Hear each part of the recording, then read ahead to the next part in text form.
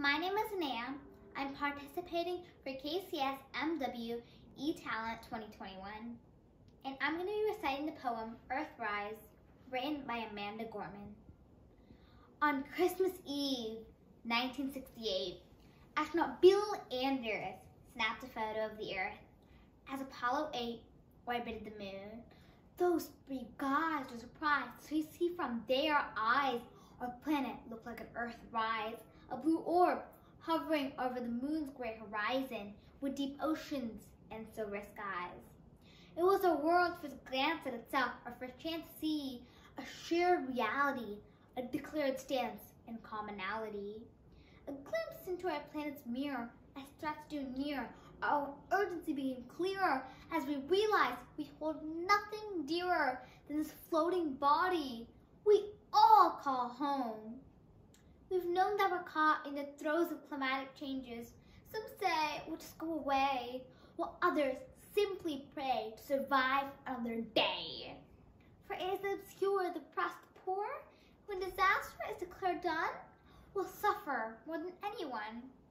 Climate change is the single greatest challenge of our time, and this we're certainly aware. It is saddening, but I cannot spare you from knowing inconvenient fact. It's getting effects straight They get us to act and not to wait. So I say this not to scare you, but to prepare you, to dare you to dream a better reality. Where despite disparities, we all care to protect our planet.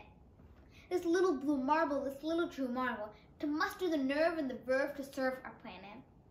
You don't have to be a politician to make your mission to conserve, to protect, to preserve the only home that is ours, to use your unique powers to give next generations the planet they deserve. We're demonstrating, creating, advocating. We heed this inconvenient truth because we need to be anything but linear with the future of our youth. While this is the training in sustaining the future of our planet, there is no rehearsal. The time is now, now, now. Because reversal of harm is so universal, it should be anything but controversial. So Earth, pale, blue dot. We'll fail you not. Just as we chose to go to the moon, we choose hope. We choose to do more in this cope with climate change. We choose to end it. Refuse to lose. Not because we're easy or nice, because it is necessary. With every dawn we carry the weight of the fate of this celestial body orbiting a star. As heavy as that weight sounded, it does not hold us down, but it keeps us grounded, steady, ready. An environmental moon this size is simply another form of an Earth rise.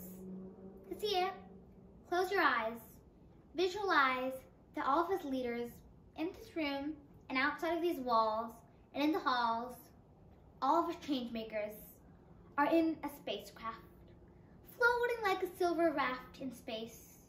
We see our planet anew. We relish the view. We witness its round green and brilliant blue, which inspires us to ask deeply, why? What can we do? Open your eyes. Know that the future of this wise planet lies right in sight, right in all of us. Trust this earth uprising, for we all bring light to exciting solutions never tried before. It is our hope that implores us at our uncomposing core to keep rising up for an earth more than the worth fighting for. Thank you.